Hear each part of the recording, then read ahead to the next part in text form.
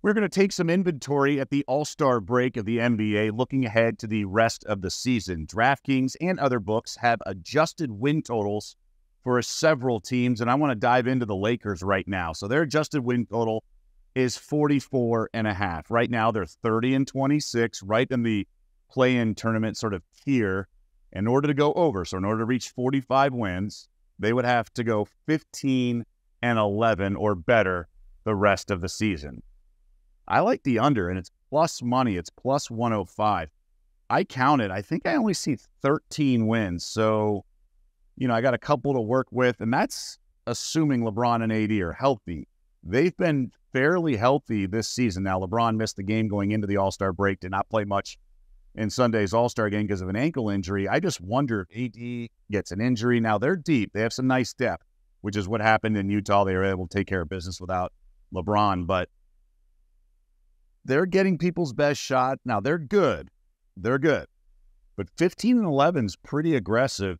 That means they definitely have to take care of their those inferior opponents and then kind of eke out some wins against those those tough teams that are, you know, in their division, like the Clippers, like the Warriors. And I just don't know if there's enough wins to go around. So I, I do like the under as I take a look at this. Now, I also want to take a look at the Clippers. So Clippers are a much different situation. Their their adjusted win totals 55 and a half.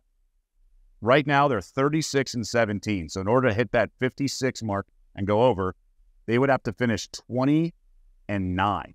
Now, they had a nice comeback against the Warriors going into the All-Star break. They have enough depth.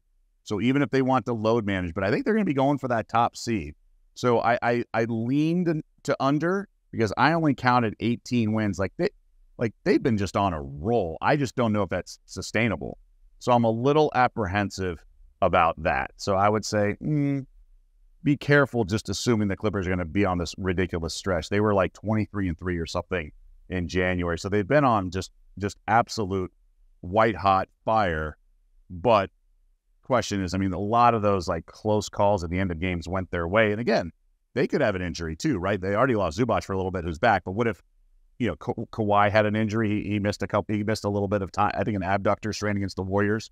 So what if some guys are you know banged up or along those lines? So I'm I'm a little uneasy going for the over on both LA teams as we take that inventory.